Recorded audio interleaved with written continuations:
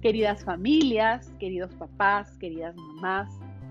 la historia de Stick, el espantapájaros y los cuervos, es una de las tantas historias que nosotros eh, preparamos para los niños y las niñas y que no solo los fortalezca a nivel cognitivo, sino principalmente los ayude en el fortalecimiento de su desarrollo socioemocional y de sus recursos socioemocionales para hacer frente a diversas situaciones. Uno de los aspectos que es importante recordar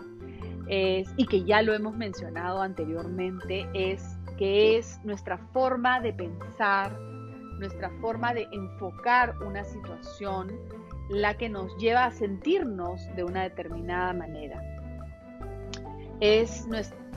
forma de pensar la que a veces nos lleva a interpretaciones de diversas situaciones y muchas veces saltamos a, interpretar una realidad o una situación sin antes haber recogido una serie de elementos que nos permitan tener una, una percepción más, como se dice, más precisa de lo que está pasando. Y el trabajar esto con los niños es un recurso que los va a ayudar mucho en su estabilidad emocional,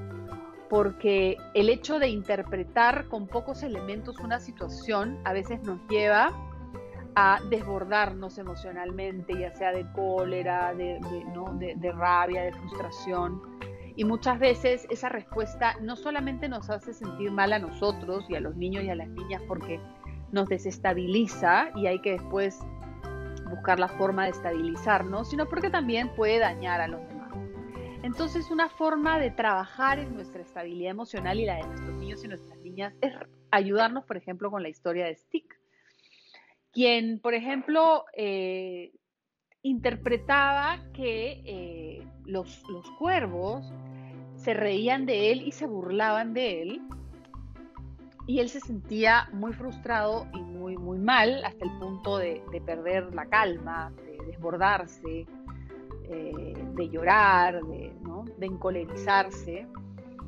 Y en realidad, cuando él se sienta a conversar con los cuervos, los cuervos le dicen a él que en realidad ellos se reían de él porque pensaban que Stick, el espantapájaros, les estaba montando un show, los quería hacer reír al hacer todos estos eh, sonidos de, de los amigos de la granja, quienes le daban ciertas ideas. Entonces esta historia es muy importante porque nos permite, eh, como se dice, actualizar en nosotros mismos, nos permite recordar en ciertos momentos donde nos estamos empezando a sentir mal frente a una situación porque estamos interpretándola de una determinada manera, nos permite recordar que eh, es mejor detenerse y no saltar a conclusiones sin antes tener los suficientes elementos para estar seguros de que esa interpretación que estamos haciendo es la correcta, es la adecuada. Y es así que podemos valernos de estas historias maravillosas como la de Stick para ayudar a nuestros niños en determinados momentos y recordar frente a una determinada circunstancia donde nos estamos empezando a molestar, a encolerizar, recordarle a nuestros niños y nuestras niñas que quizás hay elementos que nos están faltando y es muy precipitado saltar a una conclusión. Y recordarles de la respiración, ¿sí? De la respiración de inhalar, retener y exhalar para calmarse, para lograr una, una, una sensación de estabilidad y empezar a pensar con nuestra ayuda, si ellos lo consideran, ¿Qué puede estar pasando? ¿Cuáles son esos otros elementos que quizás no estamos tomando en cuenta que nos permitirían tener una mirada un poquito más completa de la situación? Y si